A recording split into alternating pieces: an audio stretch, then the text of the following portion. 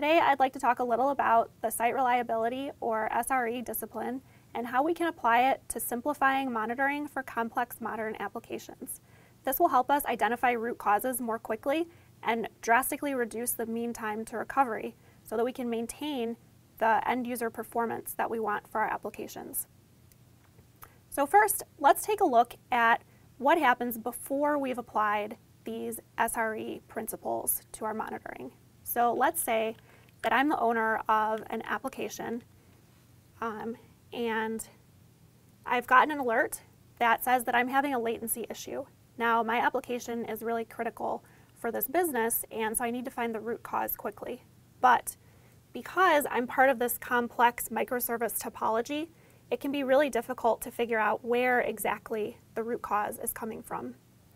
And to make things more complex, all of my dependencies could be based on different technologies. So let's say one is built on Node.js, one is a DB2 database, another is written in Swift, and so on. Now all of these have different metrics that are typically monitored, and I may not be an expert in any of these different technologies, so it may be difficult for me personally to go in and figure out what the problem is. So I would have to call in a expert for each of these technologies. Now, as you can imagine, this is time consuming for everyone to go through their service, figure out if there is a problem, or if I need to keep going downstream. And all the while, my users are still experiencing this latency issue. Now, what if there was a better way?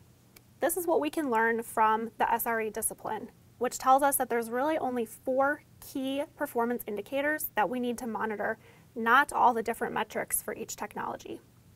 And we call these golden signals. So the golden signals are latency, which is the time it takes to service a request, errors, which is a view of the request error rate, traffic, which is the demand placed on the system, and saturation, which is our utilization versus max capacity. Now, let's go back to our initial example and see how this would work applying the golden signals. So my service, we'll call it service A, we know we have a latency issue. Now, we know that latency is typically a symptom, and if we examine the service, let's say we're not seeing any of the causes, so we know we have to keep looking downstream.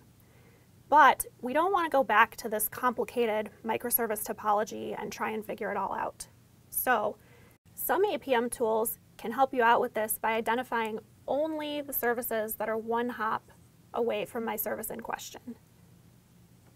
So let's say we have services B, C, and D that are connected to my service A that's having the problem.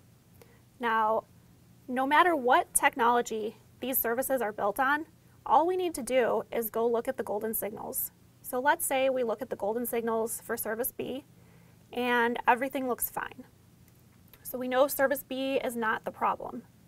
And let's say service C, same scenario. We don't see any issues, so we can eliminate that as the problem. Now, service D, let's say that we're seeing an issue with our saturation, which is trending upwards. So right there, after only a few minutes, we've identified service D is likely our root cause.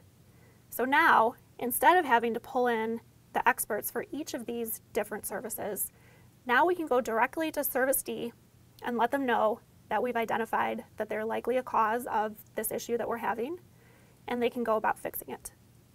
And what's even better is if they're using golden signals to monitor their service, it's very likely they've already identified this and are already working on the fix. So as you can see, this process drastically improves the time that it takes to go through this complex topology and many different technologies to figure out where your root cause is and identify exactly how to fix it.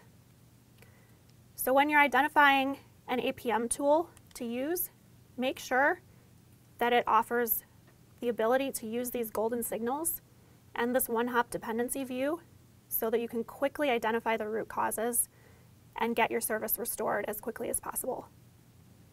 Thanks for watching this video on simplifying monitoring for modern applications.